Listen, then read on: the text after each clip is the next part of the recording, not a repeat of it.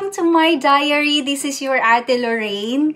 So, yes, I just uh, finished my workout today. It's Sunday, by the way, and it's April 19. So what is happening in this vlog? I'm just going to give you a quick tour to our mini gym at home. If you have been here with me in my channel, if you have been watching my vlogs, uh, you know that I am in Norway, so it's cold here and it's very, very important to at least sweat once a day or a few times a week because we have to stay fit, especially right now, right? Na maraming nangyayari na kung ano-ano. So without further ado, I will give you a tour. Okay, so in this part of our home, this is where we work out and this is where we have our workout equipments. So what we have here guys, ito, we have ellipse machine. So, ayan siya. And we have our indoor bike. And that one over there is a um, rowing machine. And yes, this is actually the place where we work out. And we also have a weightlifting bar. On this part here, we have our dumbbells and plates with different weights. So, yan, we have our window there, which is, that one is closed, guys. And let's move on to this area. In front of the gym equipment, we have our TV monitor where you can watch movie while working out or other working out videos to be inspired if you are working out or if we are working out. So, and yan, on this part naman is where we have our um, DVD player and uh, yeah, yung Apple TV. Tapos, some other stuff down there. And yeah, we also have our um, gym ball. And this one, I don't know how to call this, guys. Tapos, meron kaming little storage here where we put uh, a lot of stuff like books and whatever magazines. We have a lot of magazines there. And the most interesting part of this place, guys, is this. DVD collections. My husband actually collects a lot of DVD. These are all original movies. So, ito, uh, that one is for back massage.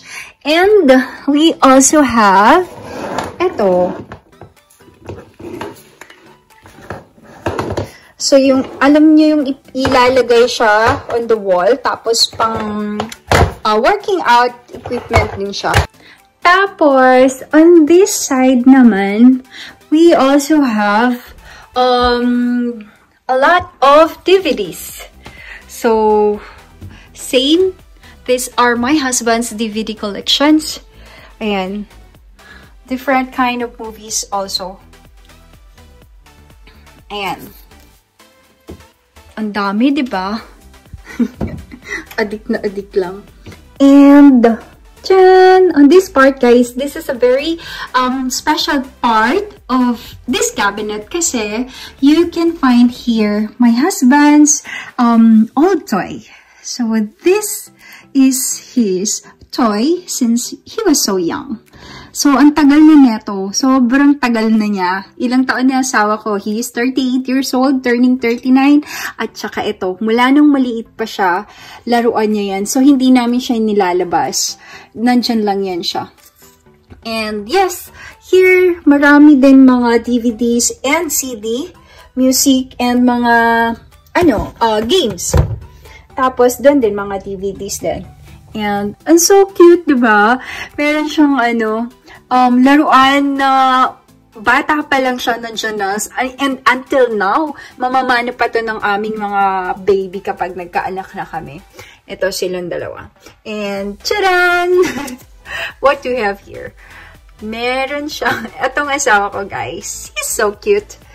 I am anticipating a very cute baby kapag nabuntis na ako. So, yes! close na natin. So, yes, that's pretty much it for this vlog. And yes, oh wait, by the way, trivia lang. Kasi one of my Facebook uh, friend actually asked me what do I do to not to gain too much weight when I'm just staying at home and not doing anything? And yeah, if you have been watching my vlogs, if you can notice, I have been posting a lot of cooking videos or cooking vlogs. So yun, tinanong niya, paano ka hindi tumataba? Nasa bahay ka lang naman. And yeah, I am actually engaged in intermittent diet on and off. So there will be time na I will stop my diet pattern or my intermittent diet pattern. And there will be times na um, gagawin ko siya in a uh, span of time. Like, one week, dire-diretso, mag intermittent ako. Tapos, the week after that, I will stop and I will just continue on my proper eating or my normal eating. Intermittent diet is actually very famous to those who are in continuous diet kasi it's actually doing a pattern where you can have your fasting and feasting time during the day. So, yes, yun ang ginagawa ko. And yes, eto, nag-workout as much as possible.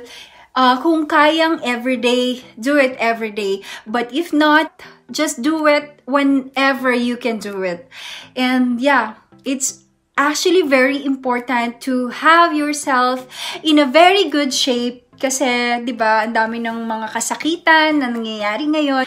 Yun lang, ang masasabi ko lang, I hope you guys are doing well and we'll have a good week ahead. Babatiin ko lang sa vlog ko na to ang aking um, Bebe Loves na si M Damian, and aking pamangkin na si Greta Bantilan. So, happy birthday to you both. I love you so much. Alam niyo na yan. At nakabati na ako sa inyo. Ayan, guys. Ang dami kong sinasabi. So, yun lang. Mag-ingat kayo lagi. And, yeah, that's pretty much it. I think. So, thank you for watching this vlog. I hope nag-enjoy kayo. And, yeah, in the upcoming days, please um, i-bell nyo yung notification ko kasi I have a lot of interesting videos coming up.